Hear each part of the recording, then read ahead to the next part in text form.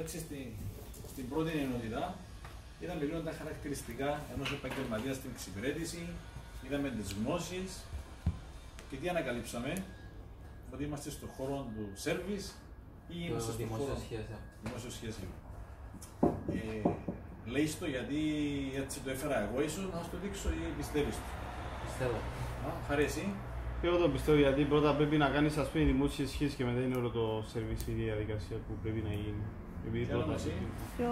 Συμφωνείς, Γεωργία; Όχι, αν διαφωνάτε, πέστε το. Αν νιώθετε όμως ότι τούτο είναι, ε, πολλά σημαντικό να ξέρεις ποιο είναι το δυνατό σου χαρτί που έχεις για να Τούτο- παίξεις σε κάθε παιχνίδι. Επειδή ας πούμε η Έλενα πάντα το μας έλεγε ότι είναι το πιο σημαντικό. Που την πρώτη μέρα που ήρθα. Άρα και για μας τώρα πλέον τούτο είναι. Πιστέψτε με, δεν είχα καμιά συνεννόηση με την Έλενα για τίποτες. Γιατί τούτα είναι τούτα που κάνουμε και σε άλλες εταιρείες. Είναι τούτα που έμαθα και εγώ τόσα χρόνια.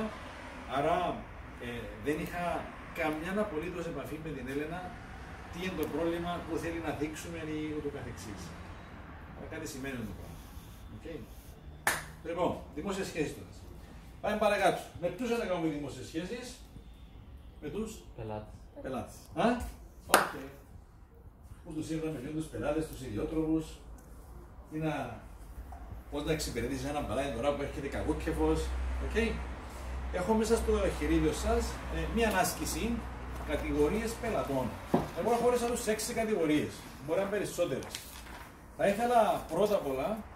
Ε, ποια σελίδα είμαστε για να Πέντε. Πέντε. Σελίδα πέντε. Ε, θέλω να μου πείτε εάν τούτες οι κατηγορίες πελατών σας εκφράζουν, νιώθετε ότι τούτες είναι, ή εάν υπάρχουν περισσότερε κατηγορίε.